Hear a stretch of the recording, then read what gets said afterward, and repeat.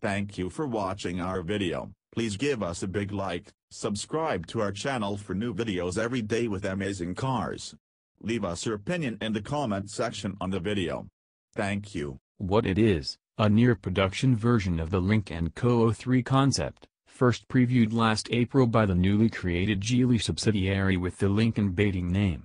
Some of the concept's exterior elements have been modified for production, such as the larger side view mirrors and the rear bumper with its low-mounted reflectors. Dual exhaust tip spoke out below the bumper, which now incorporates a wide strip that appears to house the reverse lamps.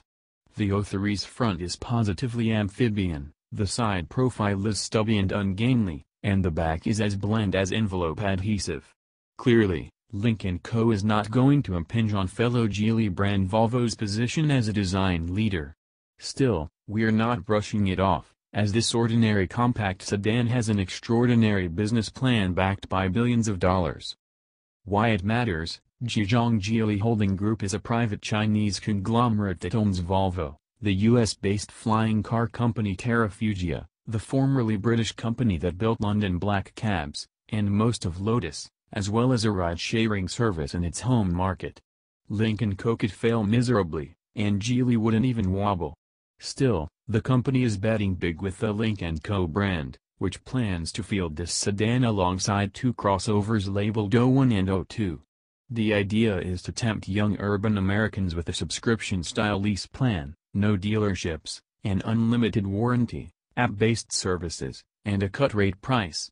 You could consider Lynk & Co a Chinese Saturn for the modern age. Platform, Volvo's compact modular architecture, CMA, which underpins the 2019 XC40 crossover, is the reason Geely bought the Swedish automaker in the first place. It's a solid platform guaranteed to meet the most stringent crash test requirements in any market. The entry luxury Lynk & Co 03 wouldn't have any credibility if it were riding on a dated Geely chassis.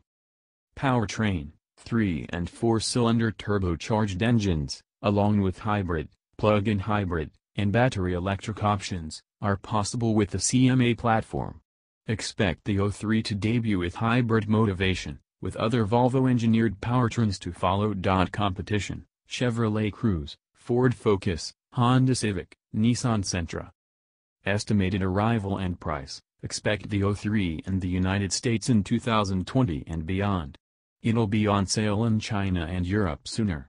Geely wants to launch the O1 crossover in San Francisco, with the O2 crossover and the O3 sedan next in line. For now, details on leasing or subscription pricing, and how Lynk & Co.'s factory-owned stores strategy will play out, are anyone's guess.